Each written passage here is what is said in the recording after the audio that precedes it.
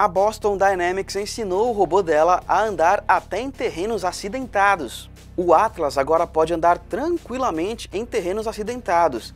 Esse vídeo mostra a desenvoltura do robô. Ele precisa de uma série de cálculos e alguns segundos de preparação para reproduzir esse movimento que para a gente é natural. O Atlas analisa o ambiente à sua frente, coloca um dos pés na posição frontal para testar a estabilidade e o ponto de apoio do local também, e aí ele vai se mexendo para dar continuidade à passada. Esse algoritmo deve ficar ainda mais avançado com o tempo.